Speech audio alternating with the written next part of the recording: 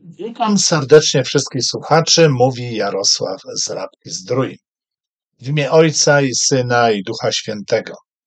Obecny cykl wykładów jest poświęcony czasom końca, końcu świata, a szczególnie omówimy działalność Eliasza Proroka w tym czasie, który jest zapowiedziany w ostatniej księdze Pisma Świętego Starego Testamentu, księdze Malachiasza. Wysłuchajcie obecnie epizodu dziesiątego. Każdy chciałby rozumieć prawidłowo Pismo Święte. Nikt z nas nie chce być zwiedzonym lub oszukanym przez fałszywych proroków. Pismo Święte w wielu miejscach ostrzega nas przed zwiedzeniami. Jezus Chrystus mówił, że wielu zwiodą. Aby zrozumieć każdy temat, który jest przedstawiany w Piśmie Świętym, musimy przede wszystkim powrócić do źródeł. Prześledzić ten temat, biorąc pod uwagę całe Pismo Święte. Gdzie pojawił się pierwszy raz ten temat? Jest to metoda Chrystusowa, gdyż Jezus w ten sposób wykładał Pismo Święte. W Ewangelii Łukasza 24, 7 czytamy i począwszy od Mojżesza, poprzez wszystkich proroków, wykładał im, co o nim było napisane we wszystkich pismach. To było w drodze do Emaus, kiedy Chrystus wykładał swoim uczniom pisma, które nie dobrze rozumieli. Podobnie było, gdy gdy Jezusa zapytali faryzeusze, czy wolno odprawić żonę swoją dla każdej przyczyny? Jezus tłumaczy, że na początku Bóg stworzył mężczyznę i kobietę i będą ci dwoje jednym ciałem. A co Bóg złączył, niech człowiek nie rozłącza. Tak było na początku. Dobrze rozumienie pierwszych czterech rozdziałów Pisma Świętego pomoże Tobie we właściwym ukierunkowaniu wszystkich fundamentalnych praw biblijnych. Czytaj często te rozdziały i rozmyślaj o nich, aby Duch Święty dobrze Ciebie kierował przez całe Pismo Święte. Sześć dni stworzenia, odpoczynek siódmego dnia, stworzenie Adama i Ewy, pierwsze nakazy i zakazy, ogród Eden, cztery rzeki wypływające z Edenu, upadek człowieka, kara i nadzieja, Kain i Abel, pierwsze morderstwo, potomkowie Kaina i Seta. To jest niewyczerpalne źródło wiedzy i mądrości. Szukając zrozumienia działalności fałszywych proroków, aby zdemaskować ich działalność, musimy przede wszystkim wrócić do początku. Gdy poznamy źródło i genezę powstania tej destruktywnej siły, sposób jej działania, jak dokonuje te zbrodnicze czyny oraz jej strategię działania. Ta analiza jest ważna, gdyż modus operandi zawsze jest ten sam. Zobaczymy, jak to było na początku. Jezus Chrystus w Ewangelii Jana, 8 rozdział, 14 werset, dostatecznie dużo powiedział w tym wersecie, aby przekonać nas, że temat jest bardzo ważny. Cena zrozumienia i niezrozumienia tego tematu jest bardzo wysoka życie lub śmierć. Ojcem waszym jest diabeł i chcecie postępować według porządliwości ojca waszego. On był mężobójcą, zabójcą od początku i wprawdzie nie wytrwał, bo w nim nie ma prawdy. Gdy mówi kłamstwo, mówi od siebie, bo jest kłamcą i ojcem kłamstwa. Spotyka się tutaj kłamstwo i prawda. Nie ma tutaj kompromisu. Jeśli uważasz, że idziesz drogą prawdy, a z drugiej strony jesteś w ekumenii, i we wspólnocie z tymi, którzy idą drogą kłamstwa, to masz bardzo poważny problem. Kłam, w kłamstwie nie ma prawdy. To jest tak, jakbyś przychodził pod drzewo wiadomości zła i dobra, aby sobie trochę podyskutować z szatanem. A nóż go przekonam i on nawróci się. Bardzo niebezpieczna gra. Dyskutować z ojcem kłamstwa lub jego współpracownikami. Tak więc wracamy do początku. Bardzo ważne są cztery pierwsze rozdziały Pisma Świętego i trzeba je bardzo dobrze znać, rozmyślać, dyskutować, studiować te rozdziały. Pierwszą fundamentalną rzeczą jest to, że Pan Bóg jest Stwórcą. On to wszystko stworzył. On stworzył prawa i ustalił reguły życia. Istoty żywe są obdarzone wolną wolą, czyli zdolnością do dokonywania wyborów. Osoba działa z własnej wolnej woli tylko wtedy, gdy jest jej życzeniem uczynić daną rzecz i mogłaby bez przeszkód uczynić coś innego, gdyby tylko tak zdecydowała. I stworzył Bóg człowieka na obraz swój, na obraz Boga stworzył go. I rzekł do człowieka: rozradzajcie się i rozmnażajcie i napełniajcie ziemię i czyńcie ją sobie poddaną. Wziął Pan Bóg człowieka i osadził go w ogrodzie Eden, aby go uprawiał i strzegł. I dał Pan Bóg człowiekowi taki rozkaz: z każdego drzewa tego ogrodu możesz jeść, ale z drzewa poznania dobra i zła nie wolno ci jeść, bo gdy tylko zjesz z niego, na pewno umrzesz. Przesłanie jest proste. Człowiek został stworzony na obraz i podobieństwo Pana Boga. Człowiek otrzymał taki rozkaz od Pana Boga, że z każdego drzewa tego ogrodu możesz jeść, ale z drzewa poznania dobra i zła nie wolno ci jeść, bo gdy tylko z niego zjesz, na pewno umrzesz. Spotykamy się tutaj z bardzo ciekawym słowem rozkaz. Po raz pierwszy w Piśmie Świętym. W sumie w całym Piśmie Świętym mamy 500 razy użyte te słowo rozkaz. Stary Testament kończy się też rozkazem, który został dany Eliaszowi. Pamiętajcie na zakon Mojżesza, sługi memu, któremu rozkazałem na chorebie przedłożyć wszystkiemu Izraelowi ustawy i sądy. Taki otrzymał rozkaz Eliasz. Jest to to samo słowo hebrajskie z drugiego rozdziału Pisma Świętego, kiedy to Pan Bóg dał Adamowi i Ewie rozkaz. Rozkaz to polecenie wykonania czegoś wydane przez osobę uprawnioną do tego lub mającą nad kimś jakąś przewagę.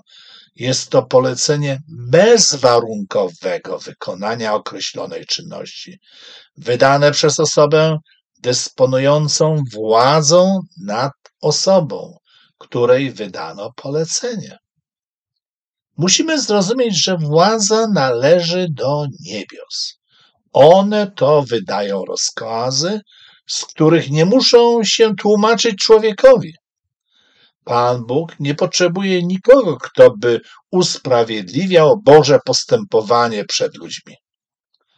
Pamiętam jeden wykład mówcy, który powiedział, że jak się dostanie do nieba, to ma całą długą listę pytań do Pana Boga, aby Pan Bóg wytłumaczył się przed nim ze swojego działania. Potraktuje Pana Boga jak nauczyciel wywołujący ucznia do tablicy, aby go przepytać. Trochę to niepoważne. Przejdźmy obecnie do narodzin, fałszu i kłamstwa. Wąż był chytrzejszy i bardziej roztropny niż wszystkie dzikie zwierzęta. W rozmowie z Ewą, która znalazła się przy drzewie poznania dobra i zła, wdała się w rozmowę z wężem. Czy rzeczywiście Bóg powiedział?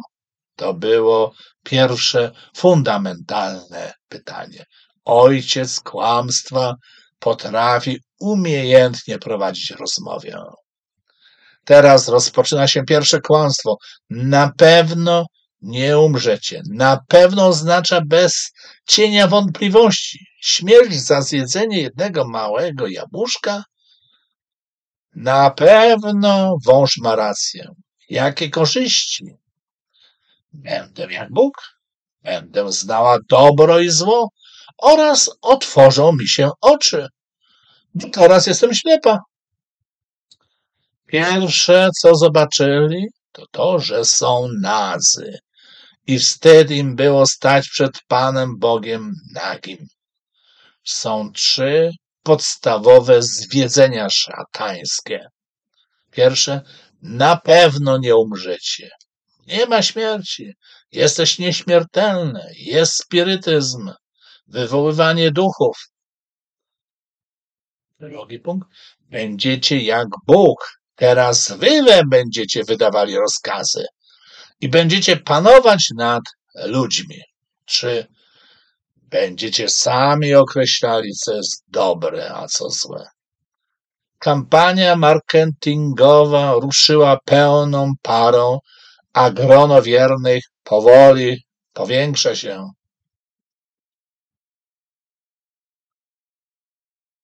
Drugi bunt.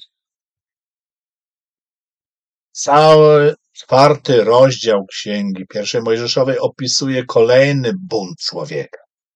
Zło rozwija się coraz bardziej. Człowiek jest już Bogiem na ziemi, określającym, co jest dobre, a co złe. Stał się Panem życia i śmierci. Może odebrać drugiemu człowiekowi życie. Człowiek znalazł sobie nowego ojca. Jest nim diabeł, który zaprasza do siebie. Nie słucha już rozkazów Pana Boga, lecz szuka w sobie odpowiedzi na nurtujące go pytania. Widząc to, Pan Bóg żałował, że uczynił człowieka i stwierdził, że wielka jest złość ludzka i wszelkie myśli oraz dążenia jego serca są ustawicznie złe. Pan Bóg próbuje ratować Kaina, mówiąc mu, że u drzwi czyha grzech, kusi cię, lecz ty masz nad nim panować. Kain wybiera drogę zła.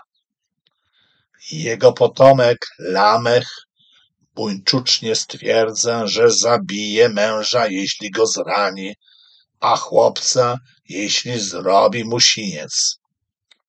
Pomimo triumfu zła, byli ludzie, którzy chodzili z Bogiem, którzy czynili wszystko tak, jak rozkazał im Pan Bóg. Rozpoczyna się plaga. Plaga zła. Plaga fałszywych proroków. I stanie się w owym dniu, że fałszywi procy okryją się hańbą, każdy z powodu swego widzenia, gdy wstąpi, wystąpi jako prorok i nie będą się przyoblekać we włosienicę, aby mamić. Powstaną bowiem fałszywi Mesjasze i fałszywi proce i czynić będą wielkie znaki i cuda, aby o ile można zwieść i wybranych. To powiedział nasz mistrz, Spawiciel Jezus Chrystus. A teraz cytaty Jeremiasza. A Pan rzekł do mnie, fałszywie prorokują procy w moim imieniu. Nie posłałem ich, ani nie dałem im poleceń, ani nie mówiłem do nich. Kłamliwe widzenia, marne wierzby, i wymysły swego serca wam prokują. Gdyż tak mówi Pan zastępów, Bóg Izraela. Niechaj was nie zwodzą wasi procy, którzy są wśród was, ani wasi wróżbici, i nie słuchajcie waszych snów, które się wam śnią.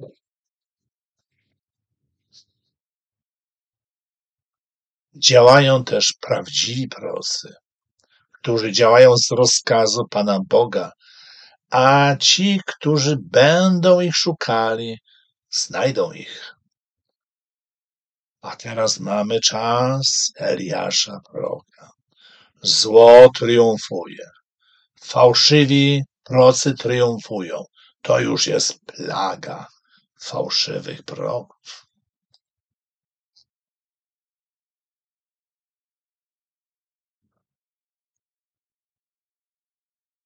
Straszne zamieszanie religijne wśród Izraelitów, które doprowadziło ich do totalnego upadku. Plaga fałszywych proroków opanowała świat i będzie to trwało aż do dnia Pana. Historia Pisma Świętego to jest nieustanna historia fałszywych proroków, zwiedzenia, oszustw. Cały czas toczy się walka duchowa. Bóg posyła prawdziwych proroków, którzy są w przeróżny sposób traktowani, a szatan posyła fałszywych swoich proroków. W Piśmie Świętym od pierwszej do ostatniej karty toczy się walka fałszywych proroków, aby zwieść wszystkich ludzi i pociągnąć ich za sobą na zatracenie. Kulminacyjnym punktem tej duchowej walki będzie bitwa w wielki dzień Boga Wszechmogącego z fałszywym prorokiem Antychrystem na miejscu nazwanym Armagedon. Wówczas to będzie poimane fałszywy prorok i Antychryst i obaj będą wrzuceni do jeziora ognistego, gorejącego siarką. Obecnie skoncentrujemy się tylko na duchowej walce proka Eliasza z fałszywymi prorokami. Sytuacja historyczna była tragiczna. Izrael popadł w odstępstwo, kult Baala i bałwochwalstwo, póki żyli przywódcy tacy jak Mojżesz, Jozue, Samuel, to jeszcze to się wszystko trzymało całości. Zło zawsze czyhało we drzwiach, aby wejść i zniewolić Izraelitów. Odstępstwo fałszywych proroków zawsze szło w parze z odstępstwem hierarchii religijnej, jak i państwowej. Fałszywi prorocy zdobywali przychylność władzy duchowej, która była oczarowana Baalem i Asztartem. Kulty fałszywe były nadzwyczaj atrakcyjne dla władzy kapłanów, gdyż przemawia ten kult do niskich instynktów natury człowieka i do jego cielesności. Piękne posągi, piękne malowidła, monumentalne świątynie babilońskie, świątynie egipskie, które ciągle zachwycają ludzi. Bogate wnętrza, tajemne rytuały, czarujące kapłani, uwodzące kapłanki, a to wszystko w oprawie krzykliwej muzyki, biesiad i tańców. Niezwykle utalentowani oratorzy potrafią przekonać do fałszywego kultu, a słuchaczy, słuchaczom taka mowa bardzo się podoba. Wystarczyło tylko zaprosić Izraelitów do miejscowości Baal Peor, aby oczarować ich fałszywym kultem. Wyuzdany kult Baala oczarował Izraelitów, tak, że zaczęli oddawać pokłon Baalowi.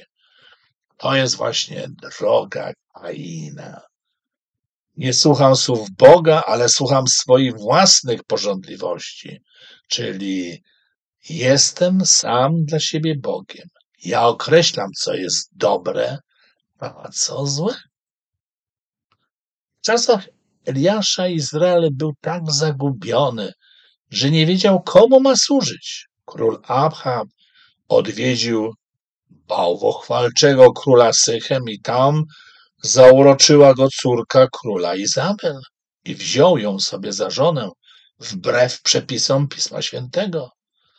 Zbudował dla swojej żony świątynię Baala, a żona sprowadziła do tej świątyni 450 proków Baala i 400 proków Ashera, aby ewangelizowali Izrael. Konfrontacja nastąpiła na górze Karmel, gdzie prawdziwy prorok Eliasz pokonał 850 fałszywych proroków w obecności króla Ahaba i całego Izraela. Zło było tak wielkie, że prorok Eliasz mówi, że zostałem tylko ja sam. Pan Bóg pociesza go i mówi: Zachowam w Izraelu jako resztę siedem tysięcy tych wszystkich, których kolana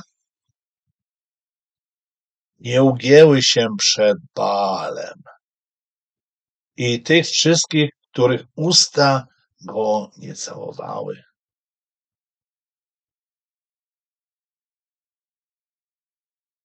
Walka duchowego.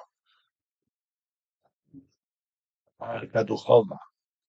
Ostatniego proroka Eliasza z ostatnim fałszywym prorokiem.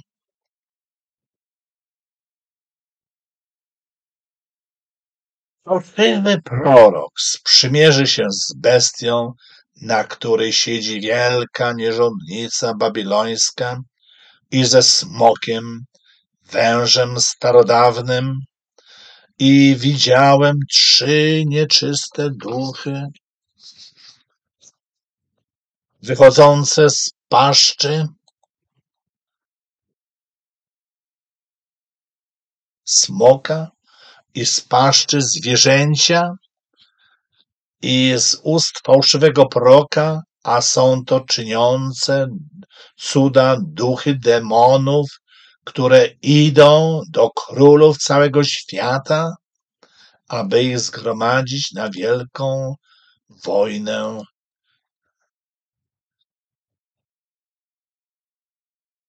Wielki dzień Boga Wszechmogącego. Nim dojdzie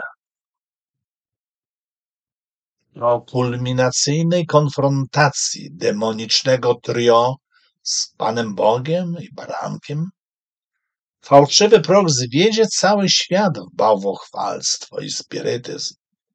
Przez trzy nieczyste duchy, podobne do żab, które będą kocią muzyką oczarowywały ludzi. Jeżeli zobaczysz bałwochwalstwo, to uciekaj od niego. Nie wchodź nawet z ciekawości do bałwochwalni. Nie przychodź na żadne uroczystości w bałwochwalni, bo siła duchów nieczystych jest olbrzymia. Na drogę bezbożnych nie wchodź, nie krocz drogą złych ludzi.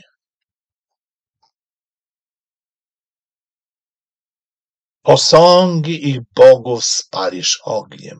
Nie pożądaj srebra i złota, które jest na nich, abyś się przez nie nie usidlił, gdyż jest to obrzydliwością dla Pana Boga Twego. Nie przynoś tej obrzydliwości do Twego domu, bo zostaniesz obłożony klątwą, tak jak one. Będziesz się tym brzydził i czuł do tego wstręt, gdyż jest to obłożone klątwą. Piąta Mojżeszowa tak podaje. I teraz fałszywi prorocy. I demoniczne siły, które z pomocą duchów demonów działają na świecie.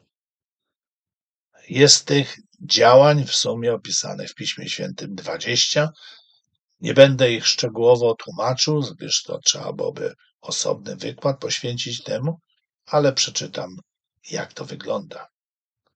cel działania demonicznych, demonicznego trio, czyli smoka, bestii i fałszywego proroka. Pierwsze, zmienić przykazania Boże. Dwa, walczyć z Panem Bogiem Wszechmogącym i Barankiem.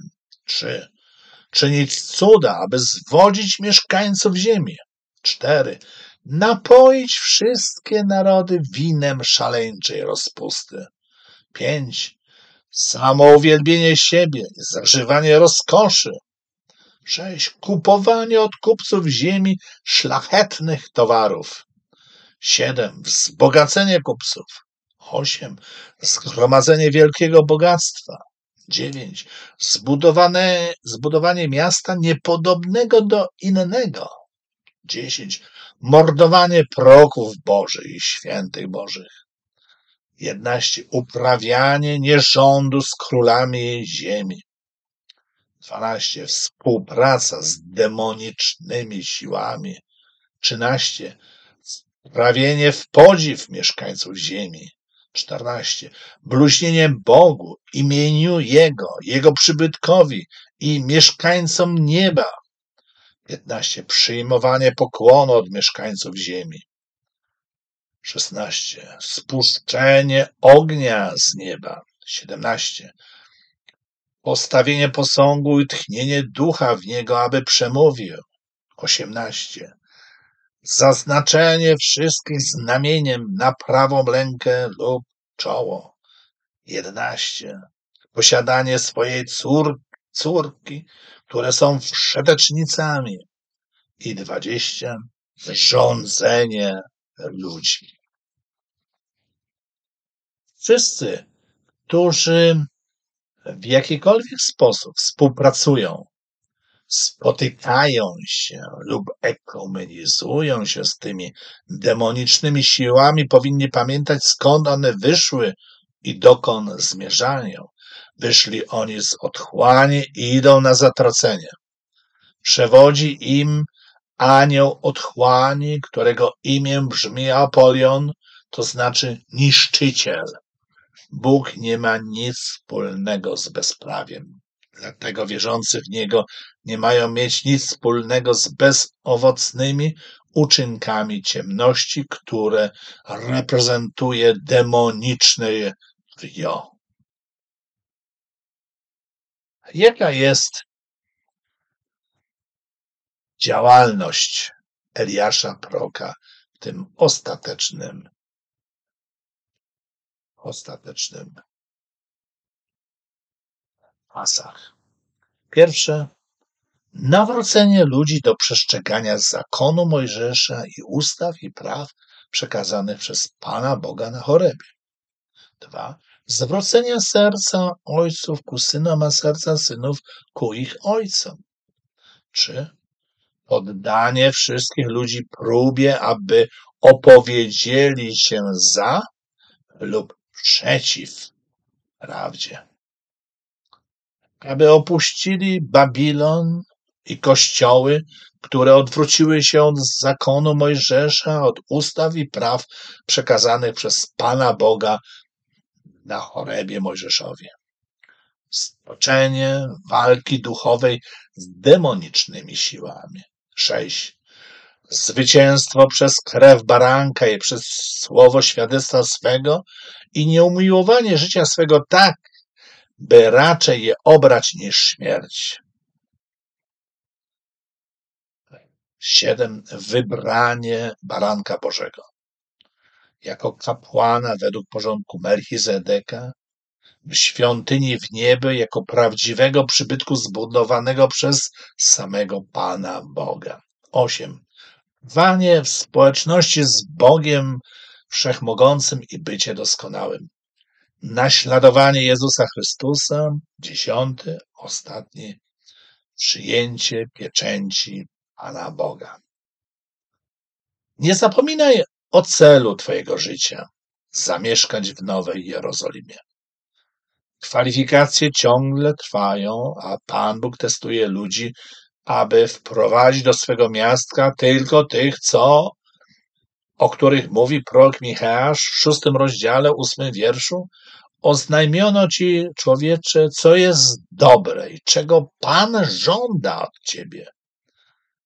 Tylko abyś wypełniał prawo, okazywał miłość bratnią i w pokorze obcował z swoim Bogiem. Przykładam ten pogląd na tę sprawę każdemu inteligentnemu słuchaczowi do modlitewnego rozpatrzenia. Jeżeli nie mamy zrozumienia czasów, w jakich żyjemy, na próżno oczekujemy, że będziemy wiedzieć, co Izrael powinien czynić. Jeżeli mówimy pokój i bezpieczeństwo, gdy zbliżają się kłopoty, lub nie doceniamy natury tych kłopotów, nie możemy być przygotowani na wielką walkę, kiedy ta walka nadejdzie. I teraz bardzo ważna rzecz w trzech punktach, jak rozpoznać tego fałszywego proroka. Oczywiście punktów byłoby więcej, ale takie trzy fundamentalne testy, które możemy zastosować. Test pierwszy. Czy zachowują prawo mojżeszowe, ustawy i sądy, przykazania mojżeszowe na górze Choreb przez Pana Boga? To, co Pan Bóg rozkazał, jest wieczne. Tylko słudzy zła, zła tworzą własne prawa, bo uważają się za bogów. Biada beztroskim na Seonie i zadufanym na górze Samarii, wybitnym obywatelom pierwszego z ludów, którzy czują się jak bogowie w domu Izraela. Amos 6.1. S drugi. Przysłowie mówi, z jakim przestajesz, takim się stajesz. Jest to bardzo cenne w drugiej próbie. Kim są przymierzeni, z kim współpracują, z kim się fotografują, z kim się modlą, z kim są w ekumenie. Jeżeli do nich należą ci, którzy nie zachowują prawo mojżeszowe, ustawy i sądy przekazane Mojżeszowi na górze Choreb, lub należą do tego demonicznego trio, to znaczy smok, bestia i fałszywy prorok, to są uczestnikami w ich grzechu. Współpraca z tymi, których ojcem jest diabeł, jest bardzo niebezpieczna, bo w końcu diabeł ich pokona. Trzeci test. Czy ta ich władza jest najwyższą władzą? Jak siebie określają? Czy ich urzędy są wielokadencyjne? Czy laikat może głosić Słowo Boże? To nie jest miejsce dla ciebie. Ci, którzy mają najwyższą władzę w kościele, ulegli już pokusie diabła i pokłonili mu się, aby otrzymać władzę, nawet władzę w kościele. Służba we wspólnocie została zastąpiona władzą nad wspólnotą, tajnymi radami i zarządami. Każda władza korumpuje i nic tego nie zmieni. Człowiek prowadzony Duchem Świętym dąży do służby, a nie do robienia kariery jako karierowicz. Walcząc o kolejną kadencję, a potem tak zmieniając przepisy, aby mieć dożywotnią władzę w kościele. Walka o władzę w kościele jest czymś obrzydliwym. Walka o władzę jest także walką o wielkie pieniądze. Amona. Lepiej będzie tobie czcić Pana Boga w samotności, niż należeć do tych, którzy nie, przyjęli, nie przeszli pozytywnie tych trzech testów. Jezus mówi wyraźnie, albowiem gdzie są dwaj lub trzej zgromadzeni w imię moje, tam jestem pośród was. Hmm. Bardzo ciekawe.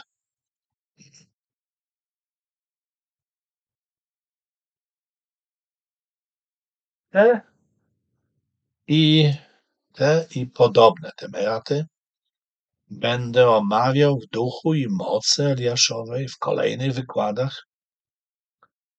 Wielkie błogosławieństwo od Pana Boga Wszechmogącego. Tym, którzy żyją w społeczności z nimi, są doskonali. Niech Bóg Wszechmogący Was błogosławi, Ojciec i Syn i Duch Święty.